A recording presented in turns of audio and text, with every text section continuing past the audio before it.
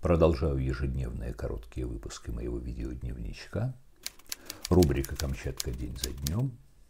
В этой рубрике я на материалах периодической печати минувших лет рассказываю, что происходило на нашем полуострове в разные годы века минувшего в этот день.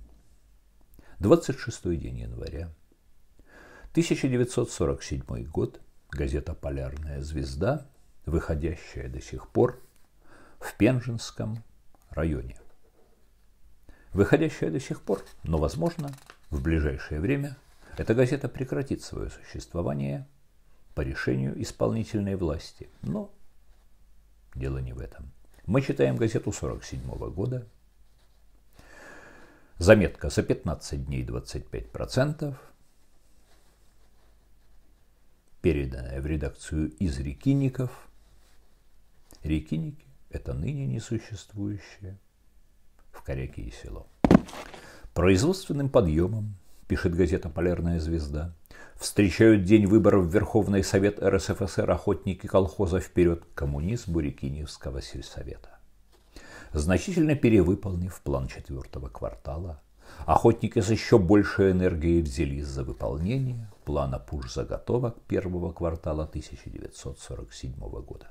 К 15 января квартальный план по сельсовету выполнили на 25%, сдав пушнины на 11 146 рублей.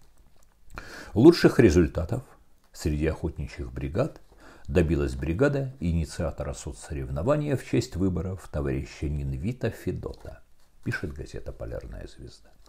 Многие охотники уже сдали пушнины на сумму, превышающую в полтора раза норму сезонного отстрела.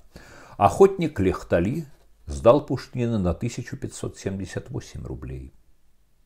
Амтенав на 1637 рублей. Танвили на 1528 рублей. Это точно. Охотник Хатинкан упромышлил с начала этого года две лисы, пять горностаев – и 10 зайцев. Большинство охотников, пишет полярная звезда, обязалось ко дню выборов выполнить сезонную норму отстрела. А те охотники, которые уже ее перевыполнили, добиться выполнения двух норм. Обратите внимание на глагол «упромышлил». Он же еще существует.